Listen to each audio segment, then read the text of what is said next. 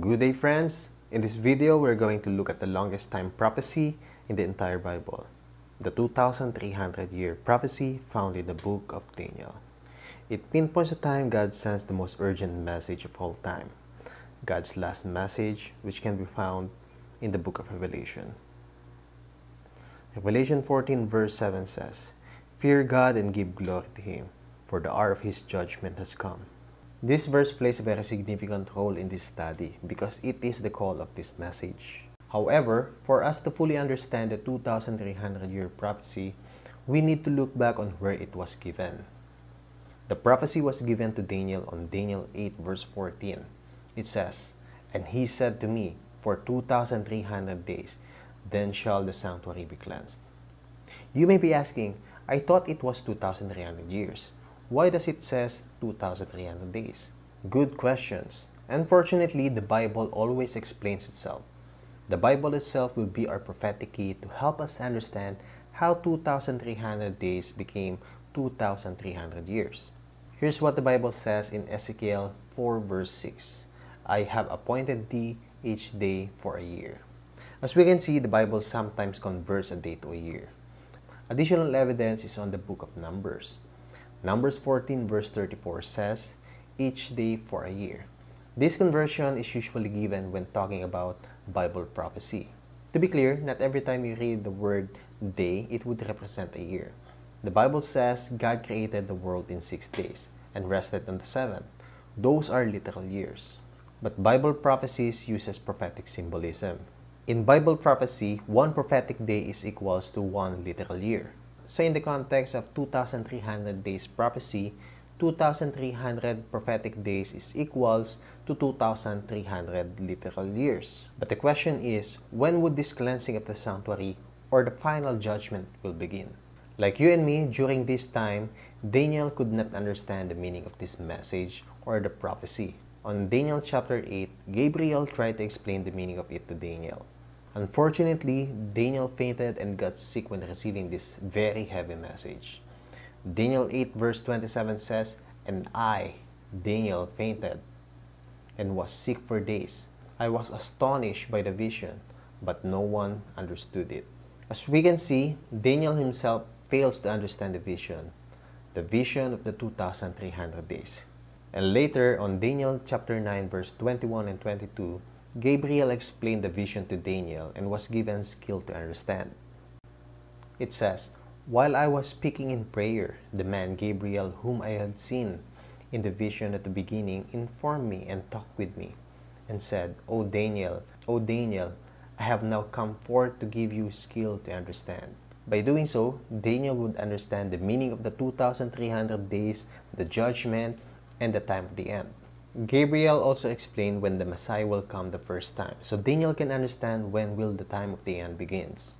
Daniel chapter 9 verse 24 to 27 is the keystone to understand where this great time of prophecy begins.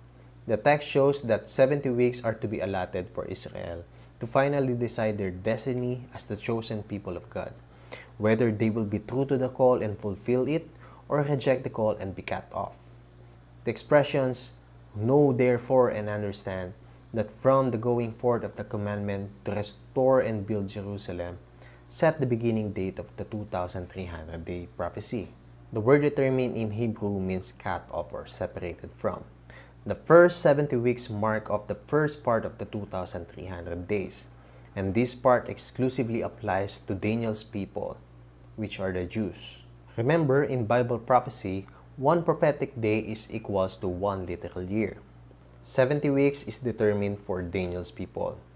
In a week, there are 7 days. So 70 times 7 is 490 days, or in prophetic time, 490 years. Here is a picture or a timeline to better illustrate what this 2300 day prophecy looks like. 70 weeks or the first 490 years are for the Jews. And from the last part, from the days of the Jews, to the end of time, it is when the judgment begins. Again, what Daniel explained were about when the Messiah will come the first time, and also when the time of the end begins. As reference on Daniel 9 verse 25, it says, Know and understand that from the going forth of the command to restore and build Jerusalem until Messiah the Prince, which is Jesus, there shall be seven weeks and sixty-two weeks, or in short, sixty-nine weeks. Quick background on the Bible history the Babylonians destroyed Jerusalem, and the Jews became captives of Babylon. The Medo Persia won the battle against Babylon, and because the Israelites are captives of Babylon, automatically they became captives of Medo Persia. Going back on the timeline, Gabriel says, Here is the beginning point. From the date of the decree to rebuild the wall of Jerusalem, and from that time until the coming of the Messiah, is 69 prophetic weeks. As reference on Daniel 9 verse 25, it says, The streets will be built again, and the wall, even in troublesome times. Again, using our prophetic key, one prophetic day is equals to one literal year. 69 weeks times 7 days is equals to 483 days or 483 literal years. As you can see, we'll have more details on this timeline to better understand the 2300 days prophecy and we're using the Bible to interpret itself. Although we have figured some portion of the timeline, we still haven't figured out what's the exact year when did this happen. Fortunately, as mentioned, we'll let the Bible interpret itself. According to Ezra, chapter 7, verse 13, the decree to restore and rebuild Jerusalem was issued in 457 BC. History can confirm that this decree came into effect on 457 BC. So the 2300 days prophecy began on 457 BC. If you check Ezra chapter 6, you'll see the biblical details of this history and on Ezra chapter 1 verse 1 to 4 about Cyrus the Great, and Ezra chapter 6 1 to 12 about Darius and Artaxerxes.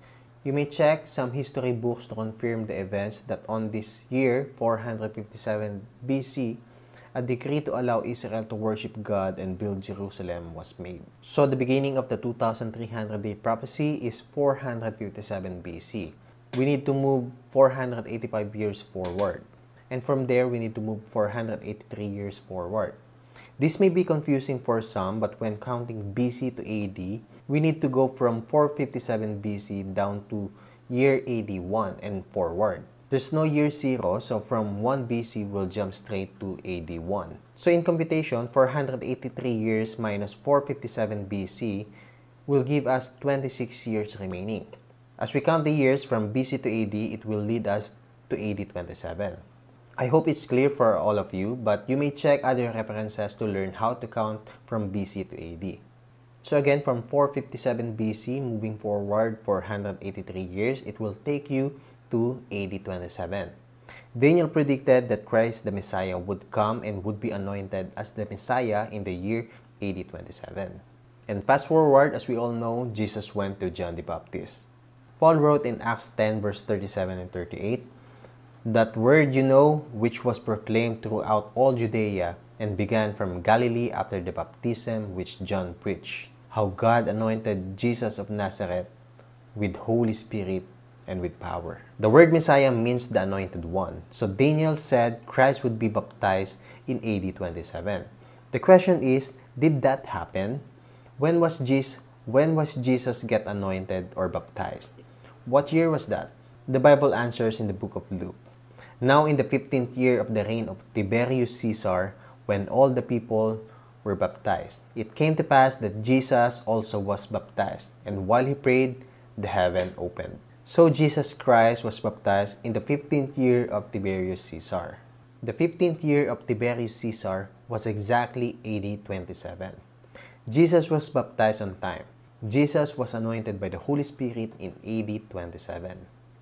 And the Bible says and the Holy Spirit descended in the bodily form like a dove upon him. And a voice came from heaven which said, You are my beloved Son, in you I am well pleased. Luke 3 verse 22. That's exactly 483 years since the decree to rebuild Jerusalem was passed. Indeed, the Bible is no common book. It is inspired by God. It predicted the date Christ would be baptized, predicted the decree to build Jerusalem would take place on 457 BC. It predicted 483 years later, AD 27 would come, and precisely on AD 27, Christ was baptized. I'm not sure about you, but I find this prophecy amazing. Anyway, to continue, after Christ was baptized, he began his ministry of three and a half years. Jesus said on Mark 1 verse 15, and saying, The time is fulfilled, and the kingdom of God is at hand. Repent and believe in the gospel. What did Jesus mean time is fulfilled? Daniel's prophecies are fulfilled. I am the Messiah of the prophecy. The prophecy goes on in Daniel chapter 9 verse 26. And after 62 weeks, Messiah shall be cut off, but not for himself. And the people of the prince who is to come shall destroy the city and the sanctuary. But what does it mean? Messiah will be cut off. It means Christ will be crucified, but not for himself. It means he would die for you and me. Verse 7 adds, Then he shall confirm a covenant with many for one week. But in the middle of the week he shall bring an end to sacrifice and offering. 69 of the 70 weeks concluded AD 27. Gabriel said 70 weeks for your people. That's 490 years for the Jews. 483 years ran out in AD 27. One prophetic week is equal to 7 days or 7 years. It says Christ confirmed the covenant with many for one week, that's 7 years. In the middle of the week, he'll bring sacrifice to an end. What is half or middle of 7? Three and a half years. Another question, what happened exactly on AD 31? Christ the Messiah was crucified. He was 33 years old that time, and the year was AD 31. It was springtime. Christ, the Passover lamb, died. In the middle of the week, Christ the Messiah would cause the sacrifice to cease. Mark 15 verse 38 says, When Jesus died, then the veil of the temple was torn in two from top to bottom. The event simply means that the sacrifices are no longer needed on the earthly sanctuary. Sacrifices offered in Jerusalem will have no significance anymore. Christ, the true Messiah, had died on Calvary's cross. He is God's Lamb, God's Son, God's Redeemer. The rent veil signals that the Messiah caused the sacrifices to cease, as predicted on Daniel's prophecy. So as we can see, Jesus the Messiah is the theme of Daniel chapter 9. The verses from Daniel chapter 9 predicted that the Messiah would die by crucifixion on the 14th day of the first Jewish month in the year AD 31. As predicted, Christ died on the right year, AD 31. It was the right time of the year, which is spring, right day of the year, which is the Passover, and it is exactly as what the Bible has predicted.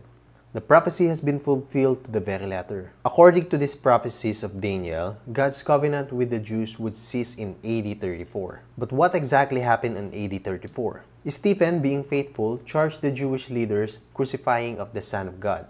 But the Jewish leaders, the Sanhedrin, passed a decree to stone Stephen. And yes, as predicted, it happened on AD 34. And on that day, it marks the time where the Jews rejected the gospel and got cut out and the gospel went out to the Gentiles. Stephen became the first Christian martyr. The end of the 70 week was marked when the Jewish leaders rejected the gospel. And Apostle Paul brought the gospel to the Gentiles. This 2,300 days prophecy has been fulfilled. The first 490 apply to the Jews, and the last 1,810 years applies to the Gentiles. The 2,300 days prophecy as a time prophecy expires on 1844, which in turn sets the date of the heavenly ministry of Jesus as a mediator between God and his people on earth. From 1844 until our time, Jesus as the high priest in heaven is doing the last act of mercy to the human race and to his people in particular. Since 1844, we're living in what the Bible calls the judgment hour. We must understand that Christ is coming anytime soon. We're living in the final hours of the earth's history. Destinies of the human race is being settled. The Bible says on Daniel chapter 8 verse 14, He said to me, For 2,300 days then the sanctuary shall be cleansed.